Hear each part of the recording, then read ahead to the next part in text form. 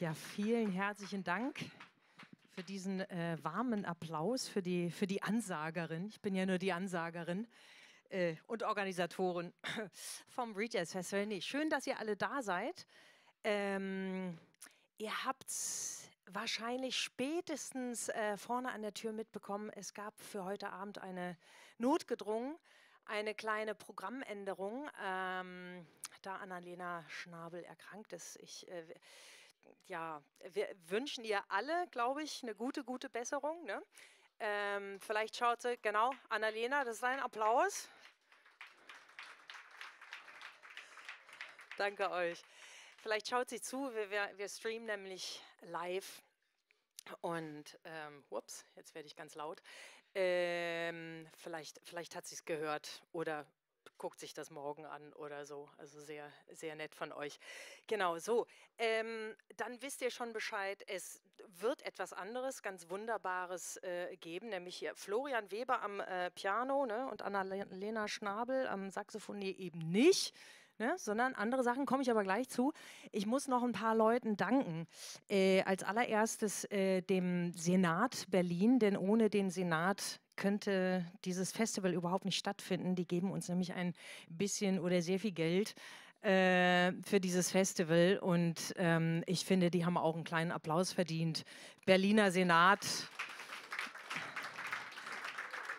Danke, dass ihr Berliner Senat sind auch Menschen, dass ihr an uns glaubt, an, äh, an das Rejazz Festival glaubt und uns äh, für so würdig äh, erachtet, uns, äh, uns Geld zu geben. Und dann äh, möchte ich natürlich dem A-Train ganz besonders danken, dass wir überhaupt hier sein dürfen, dieser fantastischen Location, also zuallererst Cedal äh, und der ganzen Crew. Und heute Abend Leon am Sound. Genau, und das war für nicht nur für mich, sondern auch für Siddal natürlich stressig. Wir haben ganz schnell, äh, also ich habe äh, für Ersatz gesorgt für Annalena Schnabel und dann mussten aber auch die dementsprechenden Infos überall hin. Also äh, Sedal hat da auch sein, sein Übriges getan. Meine äh, Grafikdesignerin äh, Stefanie Seile, total erkältet, musste auch wieder neu gestalten, hat sie trotzdem gemacht. Die hat sowieso ganz wunderbare Arbeit geleistet. Und meine Social Media Managerin äh, Maria Filippo, auch krank. Alle sind krank gerade, ja. Ähm, aber alle haben ihren Job gemacht. Maria äh, Filippo macht den jetzt weiter von zu Hause, kriegt jetzt lauter Bilder geschickt und so und postet das alles. Also mein Gott, ich habe ein tolles Team. Ich bin sehr dankbar für diese äh, Leute alle. So, ähm, jetzt aber äh, wollen wir doch mal demnächst äh, den musikalischen Teil des zweiten Abends vom Rejazz Festival, was Female Bandleaders äh, featured, einläuten. Und ich bin total dankbar und froh, dass die erste, die ich gestern angerufen habe und gefragt habe, hey, you want to play a gig tomorrow night? Ähm, dass sie auch Zeit hatte und mir dann dieses Duo vorgeschlagen hatte und gesagt, dann 40 Minuten später so, I can't reach backs. So, okay, keep on trying. You know, I want to have you both. So, das hat äh, Maria Portugal dann gemacht und hat Bags Birch tatsächlich, äh, also muss überhaupt nicht überreden, sondern gesagt so, du kannst, super. Und beide haben Bock hier äh, zum ersten Mal übrigens im Duo, jetzt hier zusammen, diese Bühne zu bespielen, überhaupt eine Bühne zusammen im Duo zu bespielen und überhaupt Premiere hier im A-Train die beiden haben noch nie im A-Train gespielt. Also es ist eine Triple, Doppel, Quadruple Premiere und ich bin total happy. Jetzt hole ich die beiden aber mal auf die Bühne, die ihr dann in Form von, wenn euch das alles gefällt oder auch nicht oder wie auch immer, äh, in anderer Form, in CDs, LPs, äh, ähm, ganz frisch Solo-LP äh, von äh, Bex ist gerade rausgekommen auf International Anthem, sehr renommiertes Amer äh, amerikanisches Label, äh, könnt ihr mit nach Hause nehmen und Maria hat auch 100 Millionen verschiedene CDs dabei von ihren diversen Bands, äh, Quaterbe und äh, Erosao. Und äh, sie komponiert auch für, für Film Und da gibt es auch von eine, eine Scheibe, I think they only brought one, one of that, eine LP äh, mit Filmmusik. Ähm, und der Film heißt 1976 und so heißt auch die Platte. Also First Comes, First Serves. Ne? Vielleicht kann man die auch noch bei Maria dann äh, nachbestellen, wenn ihr wollt. So, äh, das war die Werbepause und jetzt aber Musik. Und zwar bitte einen sehr warmen und herzlichen und stürmischen und lauten Applaus für Bex Birch und Maria Portugal. Die Instrumente werden gleich selber erklärt. Viel Spaß!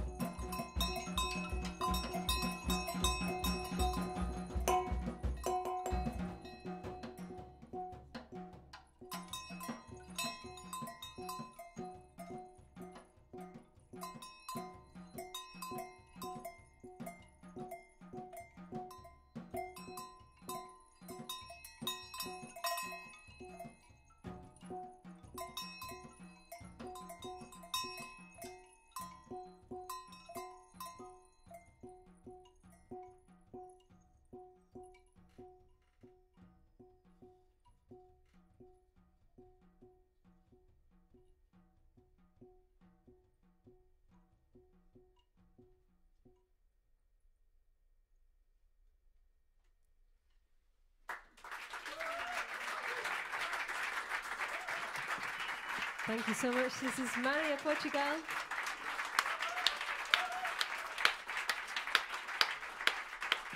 This is Bex Birch, ladies and gentlemen. Sehr geehrte Damen und Herren.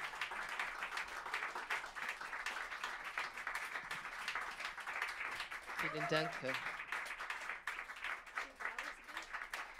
Wie viel Uhr ist das? Wir haben schon Zeit, oder?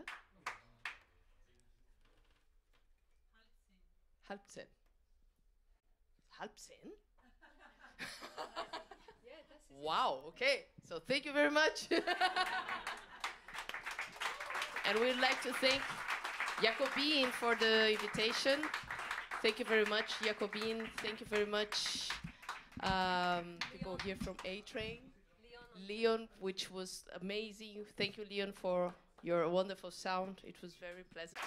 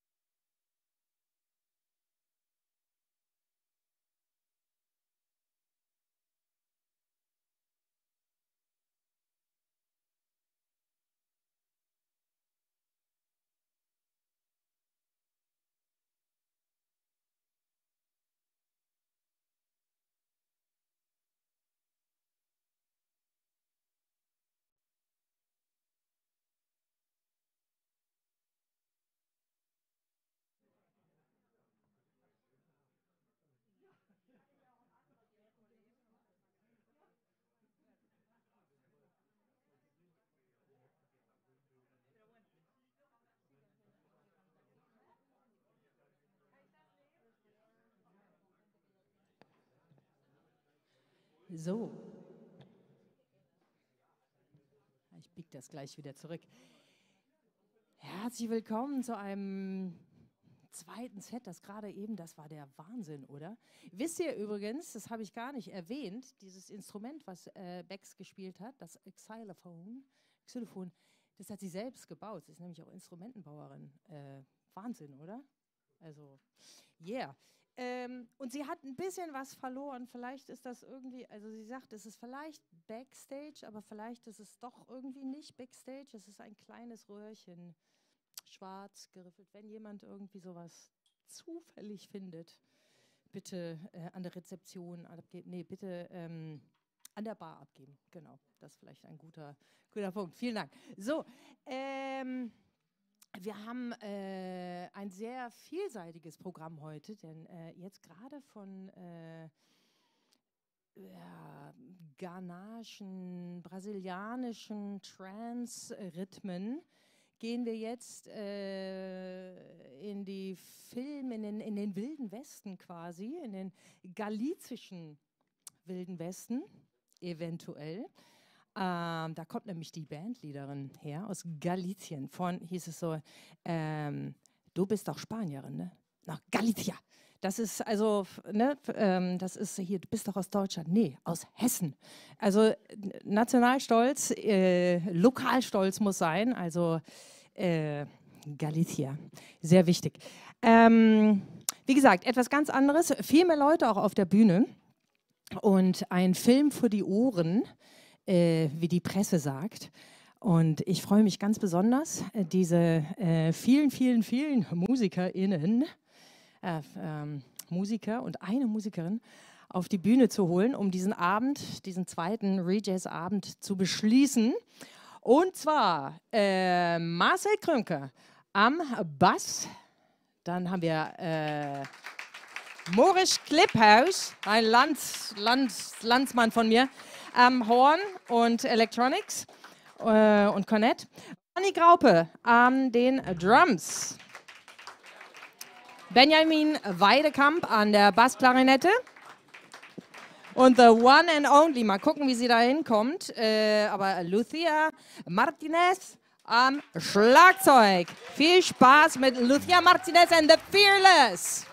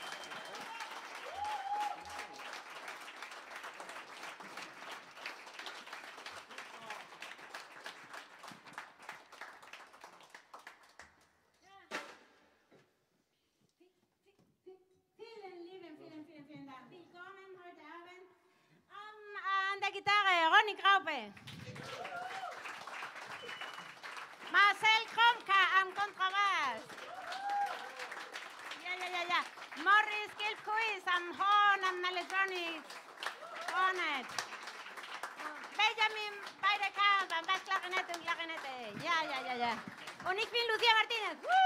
Ihi. Super.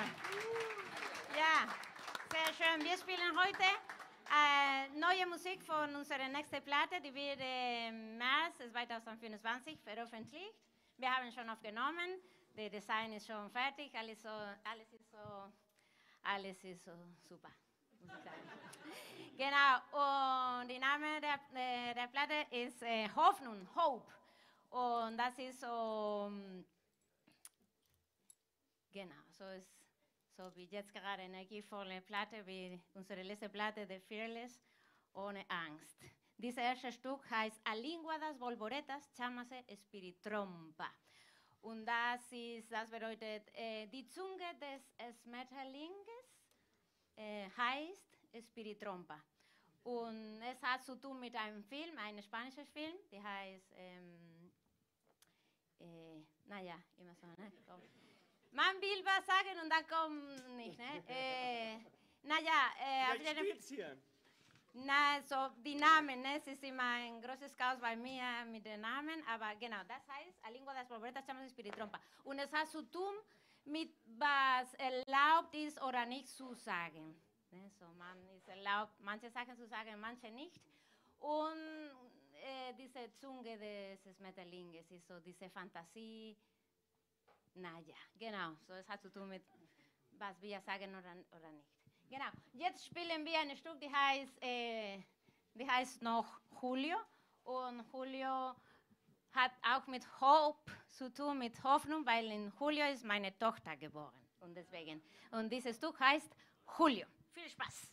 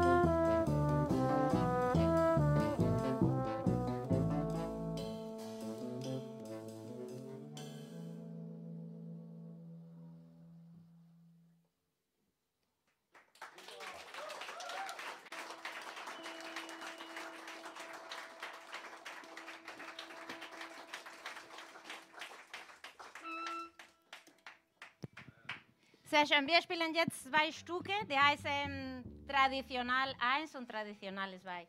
Und es hat zu tun ähm, mit der, so es ist keine traditionelle Musik aus Galizien, aber es hat so diese Stimmung oder diese Gedanken hinten von der von der Tradition im Winter, diese, ja, das Meer und, und was wir in, der Familie singen. Das hat zu tun mit Tradition. Genau, traditional 1 und 2.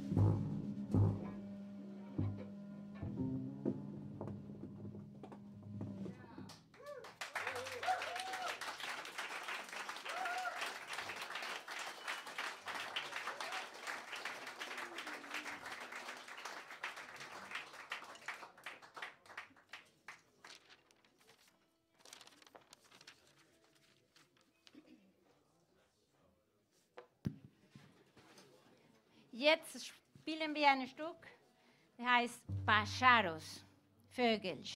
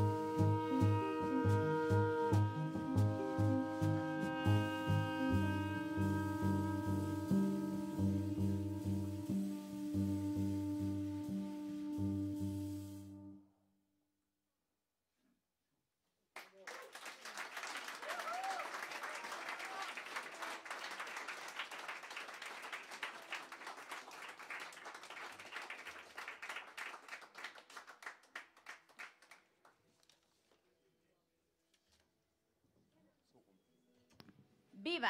Wir spielen jetzt Viva. Ole. Viva.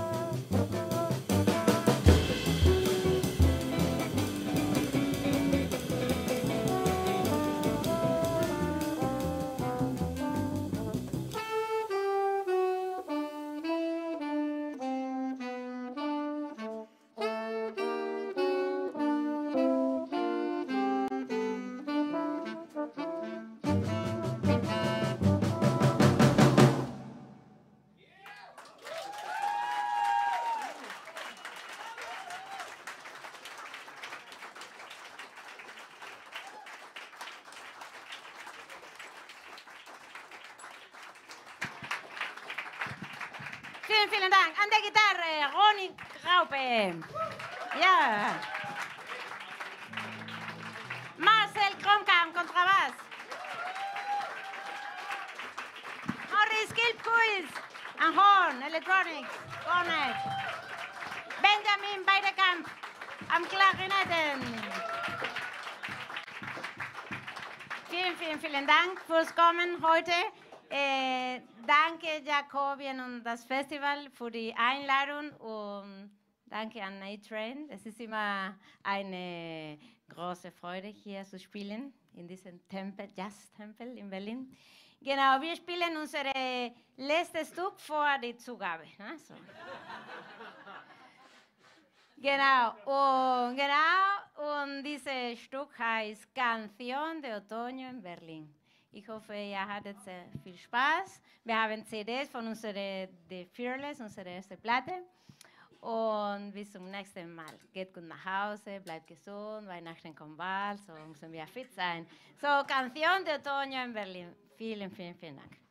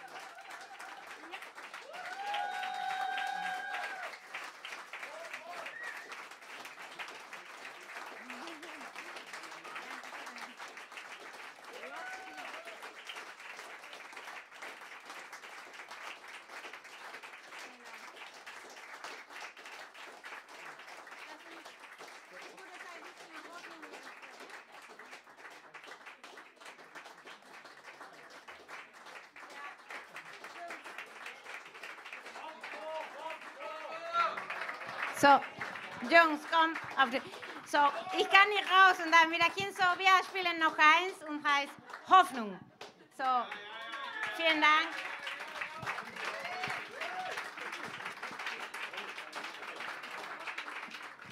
Vielen, vielen Dank. Danke euch für die Musik. Und wie gesagt, vielen Dank. Wir spielen Hoffnung.